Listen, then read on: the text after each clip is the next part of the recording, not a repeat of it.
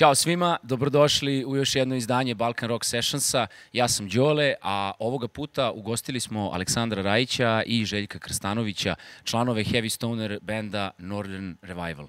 E, momci, dobrodošli. E, hvala vam za ovu vas fantastičnu Pozdrav. svirku.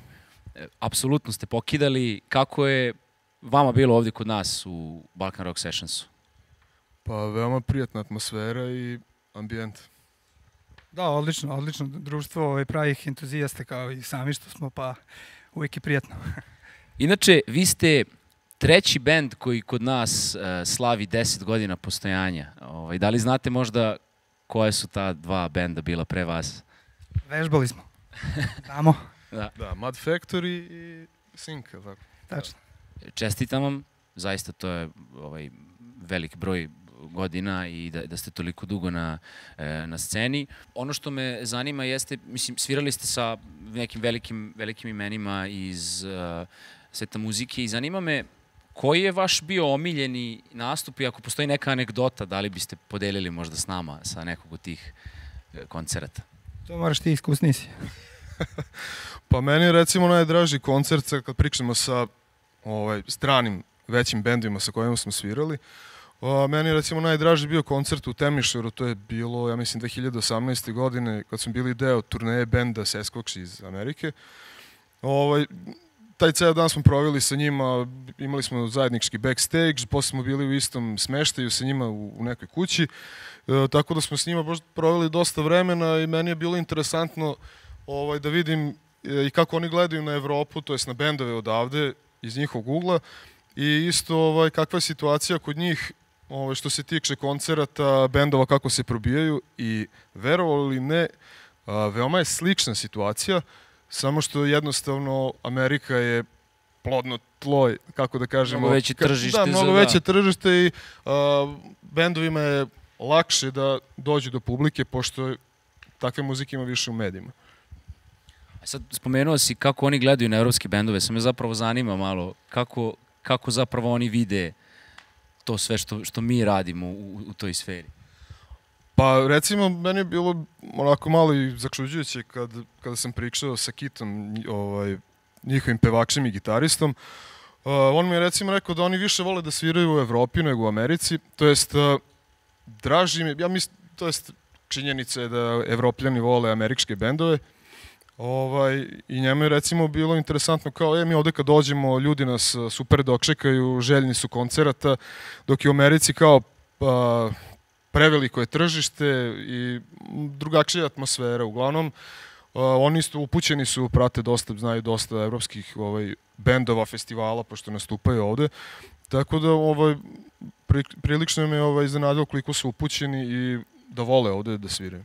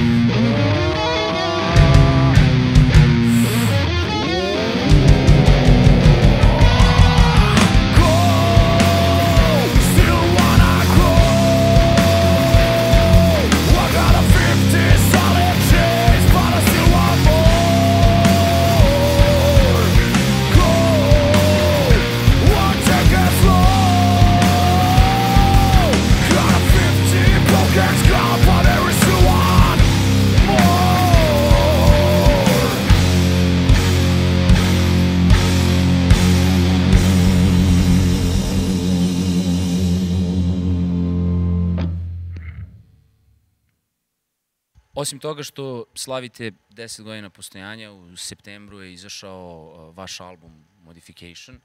Um, ti, s obzirom da si neko ko je najduže u bendu, uh, šta je novo na ovom albumu? Šta se razlikuje od prethodnih albuma? Kako je izgledao kreativni proces sa, koliko sam razumeo kad smo pričali malo pre sa maltene novim ljudima potpuno i kako izgleda generalno stvaranje sada?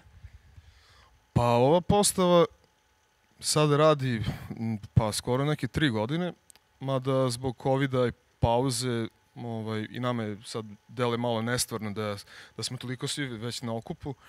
Ovaj, Željko je recimo sa nama pa tri godine Riki sada. kad je počeo COVID i Da. to je jedina dobra stvar vezana za COVID, što sam upoznao njih i što sam uspeo da navežbam sve to i da, da učestvujem u aktivnom stvaranju novih pesama, tako da... Inače, glavna razlika na ovom albumu u odnosu na prethodne je novi vokal, Slobodan. I isto stvar koje, koje do sad nismo radili, to imamo jednu pesmu na srpskom, do sad smo ovaj, uvek pevali na engleskom i ovo je bio izazov za nas da probamo da napravimo pesmu ovaj, na maternjem jeziku. We're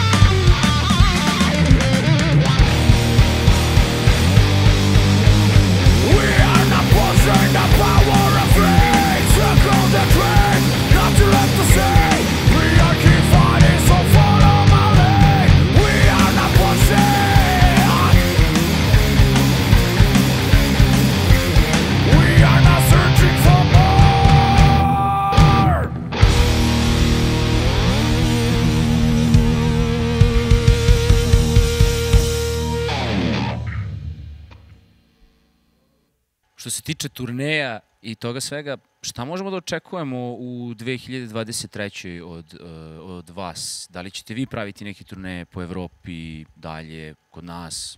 Pa, definitivno nam je plan za 2023. da uradimo evropsku turneju. Mi smo do sada svirali u inostranstvu, ali to su uglavnom bili ono koncerti po 3-4 dana, produženi vikendi. Ovaj, sada smo definitivno odlučili, to je eto, ina, inakše to je bavljanje rock and roll muzikom u Srbiji je izazov, to jest da vidiš e, da li si ti sposoban da se približiš svojim herojima, kako tako da kažem. E, tako isto i ova turneja, opet sad neka stvar koju turneja recimo od 10 dana, dve nedelje, 20 dana, to do sada nismo radili i ono što mene ovaj gura da i dalje sviram muziku, naravno, pored toga što volim muziku, su upravo te neke stvari a, koje su još uvek, a, koje nismo dostigli. E to je recimo nešto što sad meni budi elan da, da i dalje radim i sviram, trudim se, jer želim recimo da osetim i to kako je turneja kada si 10 dana u kombiju i bez tuše. Hvala vam još jednom što ste bili gosti Balkan Rock Sessionsa i čestitam još jednom. Hvala vama, hvala na svemu, hvala na gostoprinstvu i Takođe, Nastavite. Hvala I veoma cenimo to što radite, što promovišete underground i gitarsku muziku. Da, hvala. meni je recimo čast, pošto, pošto ja pratim vašu stranicu na Facebooku i u, ono bukvalno sve što me interesuje u roku od pola sata se pojavi na Balkan Rock page-u, tako da svaka čast. Ovaj. Hvala vam, hvala vam još jednom. A, a mi se vidimo u sledećem izdanju Balkan Rock Sessionsa. Ćao.